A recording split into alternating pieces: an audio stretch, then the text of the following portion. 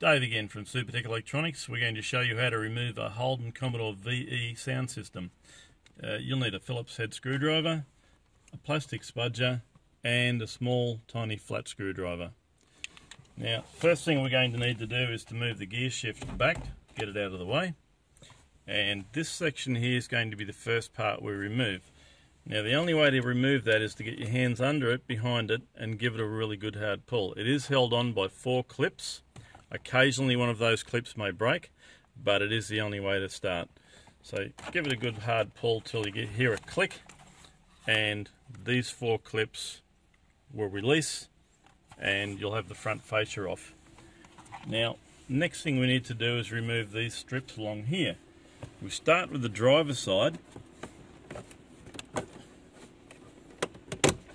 and this is where the plastic spudger will come in handy some of these clips are held in quite tight. You'll need to get a plastic spudger in there and release them. And once that's out, you can just put it aside and release, remove this part here.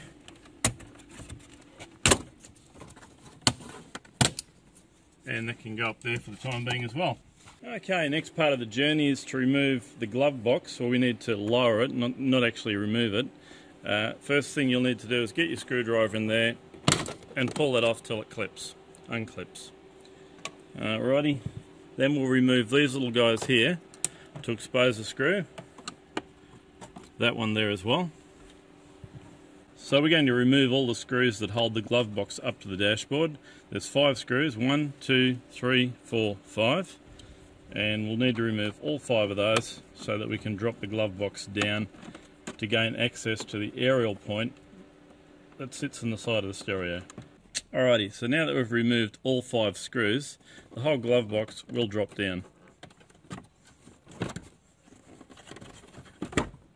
Like so. And that will give us access to the aerial wire and you'll need to unplug that clip from the side of the stereo and that's done simply by pressing that little plastic lever and then pulling the cable out and leaving it to the side. Alright, there is a power connector on the side of the stereo we need to remove before we, we remove the unit from the dash. And we're going to start by removing a little plastic clip that fits in the side down here. Looks like that. Uh, you remove the center part of it and then the whole thing will come out. From there we can remove this whole section like that.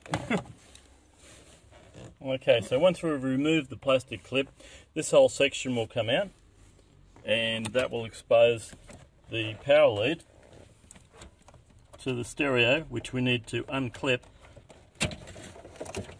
Okay, remove that power cable and now we can unscrew the stereo with the four Phillips head screws.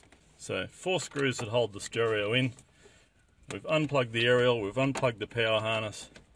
Now this whole stereo will come out.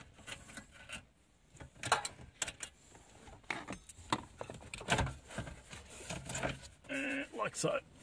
And that unit with its fascia is ready to send off to Supertech Electronics for repair.